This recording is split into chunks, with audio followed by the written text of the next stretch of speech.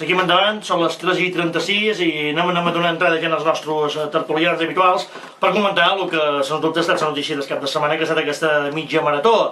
Esperem en Mito Bosch, eh, el que no, no, no, no, li, no li donarem cap paquet, perquè supos que la feinada que mos va fer ahir, igual eh, ho dèiem mig en broma, mig en sèrio, tal vegada està fent de xubec i d'una manera merescuda. Uh, Joan Canals, bones tardes. Molt bones tardes. Com estem, bé? Molt bé, molt bé. No, Molt. tan, no tan cansat com els que van córrer ahir, eh? però bueno. Mira, mentrestant, No, no, no, mi- no. en Guillem us ha sentit i ara està entrant en els nostres estudis, que ho tindrem perfecte, Ja, ja s'ha aixecat, ho veu. tin- tindrem la veu privilegiada de, dels que mos ho va organitzar. Mentrestant, Joan Salons, bones tardes. Bones tardes. Com, bueno, tu hi eres ahir a Esborn, què te va semblar? Bé, molt bé, molt polit. La veritat que mm, ja no és simplement una mitja marató, és com una festa a nivell inclús de poble i la veritat que un 10. Molt bé. Mito, bones tardes. Bones tardes, aterrissant. Ara, què t'ha pillat? Les hores, no? Perquè has vingut molt d'hores. Sí, no ho sé, he pujat un molt baix, ja feia tard, m'havien enganxat, però bueno, bé, bé, molt bé. Molt bé, ja que te tenim, començarem amb tu. Eh, un èxit, no? Sí, eh? sí, sí, sí, llevat del vent i les corregudes que vam haver de fer, perquè m'ho va complicar una miqueta, el de més, no, molt contents. No, la veritat, tot, tot va anar bé. Uh, va ser complicat, jo diria per mal temps, però a part d'això, després en Camus va fer una finestreta allò que si tot feia bé, no va poder i tot això, i la gent s'ho va passar bé, perquè a més l'animació que hi havia, jo, bueno, com a organització, que després vam estar enxavat els cabres, estiguem cruixit, de normal, i que la veritat, molt bé. Val. Joan Salors, bueno, mo- mos vam veure per allà i matí a. La veritat és que eh, la mitja marató aquesta va tenir un únic nom, que va ser d'en Rafael Quintana, no? Sí, eh, supos que va complir les expectatives de, de que inclús va superar la marca que ell tenia, tenia pensat. Des primer moment va sortir molt fort, es va sortir i es va col·locar dels primers perquè ja anava, ja anava amb mentalitat de, diguéssim, de, de futsal i canya. I bueno, mm, a part d'ells pot ser que hi va un poc més d'igualtat, eh, destacar que inclús eh, Pulido i companyia van, van millorar registres, però bueno, en Rafael Quintana sembla que serà, serà mal d'agafar els pròxims anys. Sí, sí, sí, sí.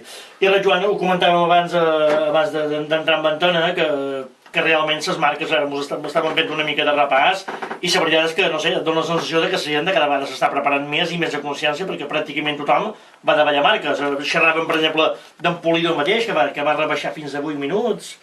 Jo, la veritat és que ara, ara llegia la llista i veure que els 100 primers van, van baixar d'1.35 i jo, sincerament, eh, és que veus això i, i te mareges. És increïble, és increïble que 100 persones baixin de, de 1.35 a una mitja marató aquí a Ciutadella. Són marques, la veritat és que impressionants i, i això és perquè hi ha cada dia més gent que fa esport, cada dia més gent que, que li agrada poder, poder córrer aquí a Menorca en aquest cas i la veritat és que és, llevat l'escapell per, per tots els que van córrer i que la veritat és que tenen un mèrit increïble.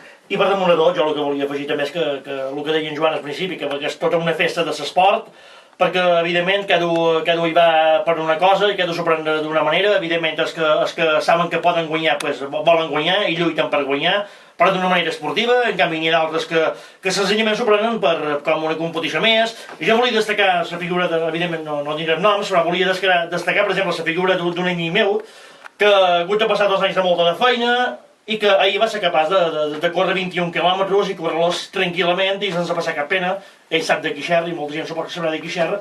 I bueno, era una persona que sí que sembla una persona que, que, que, bueno, que senzillament va voler córrer, va voler córrer 21 quilòmetres i per ell el simple fet de ser ahir a les 9 del matí allà a punt de córrer pues, ja va ser un triomf tant o més important com el d'en Rafael Quintana.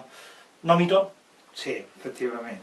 No, és, el que comentàveu abans, eh, hi havia de tot, hi havia gent que venia aquí que s'havia entrenat específicament i després n'hi venia bastanta gent, perquè també m'ho deien, que era la primera vegada que es provaven unes bambes, hi havia inclús eh, avui de matí un comentari d'un atleta qui no havia fet cap carrera mai i es va apuntar pues, a la mitja marató, només per simple fet, mira, anem a provar què tal, i la veritat ho va fer bastant bé, i després, bueno, després tota la part ja de jovenets, això qui, qui es plantegen eh, posar-se les bambes, arrencar a córrer, i després el més important també vaig veure molta gent ja de ser 40, 40 i pico d'anys, qui tampoc havien fet un altre tipus d'esport, eh, o havien estat vinculats a un altre esport i després eh, es posen unes bambes i arrenquen a córrer. Jo vaig veure companys, bueno, companys, eh, l'os que havien entrenat a futbol, eh, qui no eren eh, molt donats a la carrera, que els hi costava una miqueta, i es va plantar en els 21 coses i els van fer, i els van quedar bé, dius, xapó.